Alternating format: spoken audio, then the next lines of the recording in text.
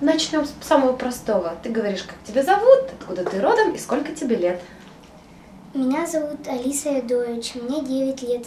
Я приехала из города Шахта Ростовской области. Спасибо. Алис, скажи, пожалуйста, это первый для тебя конкурс? Пока еще, пока еще нет, не То первый. есть не первый, ты уже участвовала в конкурсах. Да. Молодец. Скажи, пожалуйста, а что самое сложное для тебя вот в любом из конкурсе? Самое сложное убрать все сомнения, волнения.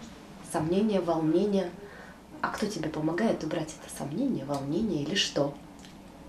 Ну, мама, папа, все родные, близкие. Хорошо. А кто тебя поддерживает на конкурсе, с кем ты приехала? С мамой. С мамой, да? Она тебе помогает? Да, Очень помогает. очень при очень. Очень при очень. А скажи, пожалуйста, на кого бы ты хотела вот быть похожим или кем бы ты хотела в жизни стать? Ну, я беру пример своих тренеров. А вообще считаю, что каждый человек должен быть по-своему индивидуальный. В будущем я хотела бы стать фотографом. Фотографом, да? То есть быть по ту сторону, Ну, да. да? Хорошо. А почему именно фотографом? Мне это очень нравится. Да? Я хотела бы тоже начать фотографировать. То есть ты любишь что-то создавать, да? А, помимо того, чтобы участвовать, так скажем, да? Хорошо.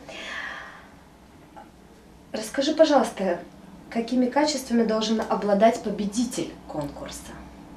Добротой, целеустремленностью, сцены не бояться, быть очень ну, добродушным и ну, дружить со всеми.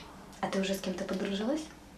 Но я подружилась с одной девочкой, только, правда, забыла спросить ее имя. Забыла спросить, но у тебя будет еще возможность.